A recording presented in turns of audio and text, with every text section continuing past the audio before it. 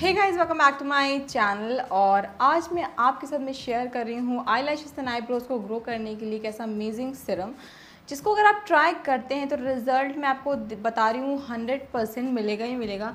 Hundred percent क्या आप thousand percent कह सकते हैं, आपको रिज़ल्ट मिलेगा ही मिलेगा।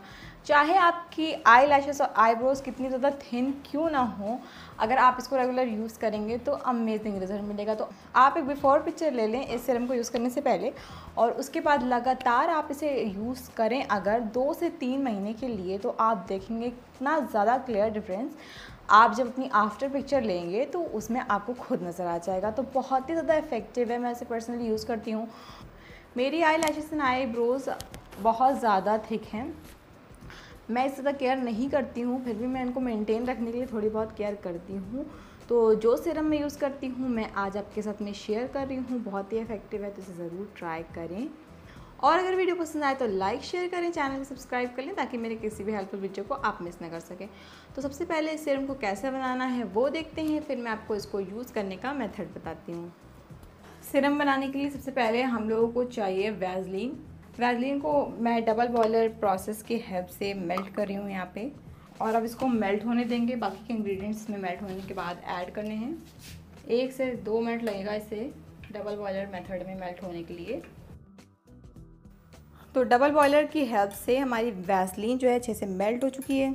अब इसमें एक एक करके सारे इंग्रेडिएंट्स हम लोग ऐड कर लेंगे। सबसे पहले मैं इसमें ऐड करी हूँ कैस्टर ऑयल यानी कि अरंडी का तेल, जो कि बालों की ग्रोथ को बढ़ाने के लिए बहुत ज़्यादा इफ़ेक्टिव होता है। जैसे कि आप सबको ये बात पता होगी, आप इसे अपने बाल, सर के बालों पर अप्लाई करें या फिर अपनी आई लैशेस आईब्रोज पे अप्लाई करें तो बहुत ज़्यादा ये आपकी ग्रोथ को बढ़ाता है। तो मैं इसमें ऐड कर रही हूँ one teaspoon castor oil mix करते जाएँगे साथ में, वरना वैसलीन जो है सेट होने लगती है बहुत जल्दी। नेक्स्ट हमारा इंग्रेडिएंट है कलौजी का तेल। एक बहुत ही ज़बरदस्त इंग्रेडिएंट होता है आपकी आई लैशेस और आईब्रोज़ को ग्रो करने के लिए, बालों को सर के भी ग्रो करने के लिए। इसको अगर आप यूज़ करेंगे तो आप देखेंगे इस सिरम को कि आपके बाल कितने ज़्यादा ग्रो होना शुरू हो जाएँगे आई और आईब्रोज़ के। जैसा कि आप इसके पैक पर फोकस करेंगे तो यहाँ पर लिखा है फॉर हेल्दी हेयर तो ये बहुत ज़्यादा ग्रोथ को बढ़ाती है। तो मैं वन टी इसमें ऐड कर रही हूँ कलौजी का तेल और वन टीस्पून इसमें ऐड करेंगे विटामिन ई e का ऑयल। ऑयल हो तो ऑयल ऐड कर लें, नहीं तो कैप्सूल आप इसमें चार से पाँच ऐड कर लें। वन टीस्पून इसमें ऐड कर लेना है। ये भी बहुत अच्छा होता है ग्रोथ को बढ़ाने के लिए। बालों की। तो मिक्स करेंगे जल्दी जल्दी सारी की सारी चीज़ों को। और लास्ट में इसमें ऐड करना है हम लोग को एलोवेरा जेल फ्रेश वाला aloe vera gel fresh means कि जो जिसमें कोई भी कलर या प्रेजर्वेटिव ऐड ना हो। मैं लीव्स वाला इसमें ऐड नहीं कर रही हूँ क्योंकि उसमें शेल्फ लाइफ इसकी कम हो जाती है। वन टीस्पून ऐड कर लेंगे। बस अब सब चीज़ों को अच्छे से मिक्स कर लेंगे और हमारा बहुत ही अच्छा सिरम बन के रेडी हो जाएगा। तो ये हमारा सिरम जो है वो बन के रेडी है और अच्छे से सेट भी हो चुका है। वैसलिन जो हमारी पिघल गई थी, वो अच्छे से सेट हो चुकी है। आप इसे किसी अच्छे से एयरटाइट कंटेनर में स्टोर करके रख लें।